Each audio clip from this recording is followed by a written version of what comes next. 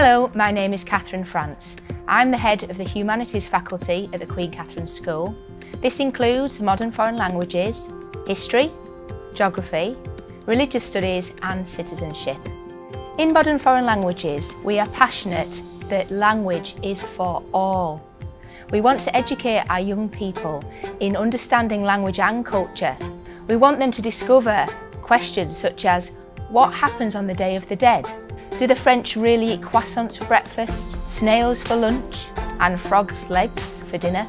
We know that students learn best and make the most progress when they are engaged, motivated, challenged.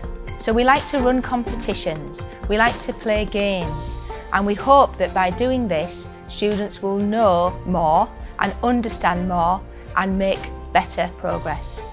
The Humanities curriculum enables our students to know more and understand more about the world, both past and present. We are really proud to be holders of the Gold Quality Mark for Religious Education. This has shown us to be both innovative in the school and the wider community. We also represent religious studies on a national scale through our Young Ambassadors for RE scheme.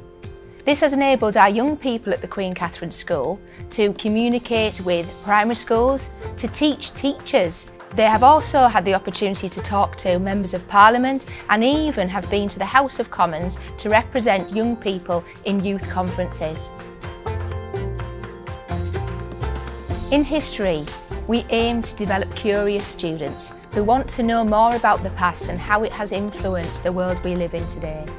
The geography curriculum at the Queen Katherine School aims to develop students who are inquisitive. To really enjoy geography, you've got to fully immerse yourself in the subject. So we organise a number of field trips.